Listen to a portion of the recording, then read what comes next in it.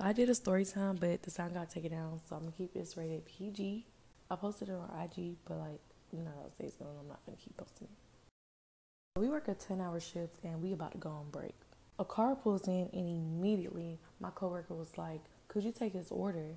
That should have been a red fucking flag because um, nobody about to turn down no money. So um, I get to taking his order. I took his whole order. We were actually like having a small conversation, like everything was good. I turn around, turn back around, and all his homeboys right there. Some was being rude, some was flirting, and I was just like, nah, cause you know I'm already mentally ready for the break. So my boss, she comes up and she takes the order.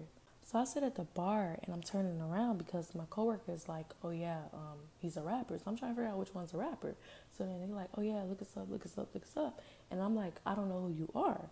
Cause how on earth am I supposed to look you up and I don't even have a name? So my coworker, she spells out the name. I look him up and I'm like, I still don't know who you are. And I felt as if they took that as disrespect, but like I genuinely didn't know who he is. Cause in Atlanta, I feel like if you say you don't know who somebody is, it's kind of like disrespect. Like, oh, I don't know who you is. I never heard of you. I don't know what you be on. Da, da, da. Yeah. But I ain't mean it like that. I genuinely don't know who this man is. So me saying that off the bat, like first me not taking that order, and then me saying that, I, I think that really pissed him off because he was like, "Oh, I get money, da da da da, bitch, who is you?" And then it started getting disrespectful. So then I was like, "You're five two. that pissed him off too. Then my boss and stuff is like, "Oh, just stop talking, record, send it to the shade room, TMZ," and I'm like, they don't even know who this man is. So then I was smiling and I was licking my teeth and I was like, oh yeah, my teeth look better than yours. So then that's when he was like, oh, I'll get them girls in the car to jump you and then all this other shit. And that's when he threatened to spit on me. So that's when I walked my happy ass to the back, got me some boiling hot water and sat it right next to me.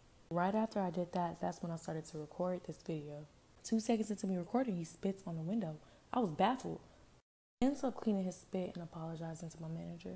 And I think after that's when they was like, oh yeah, you got a fat ass, shake some ass for some tips. And I was like, tell your mom to do that. That pissed him off too. And basically that's what happened. So I most definitely didn't do anything to him that provoked him to that point. Because mind you, look at everybody around him. Everybody calm. One person's like literally telling me not to mind him. The other person is literally laughing. After I recorded on Instagram, I came on here and then I posted it. And then I posted it with his sound after I found out who he was telling me this man is a rapper like two out of every three people in Atlanta not rappers. At the end of the day, I'm not gonna get disrespected by anybody. And so if you seen this, don't kill me, please. What?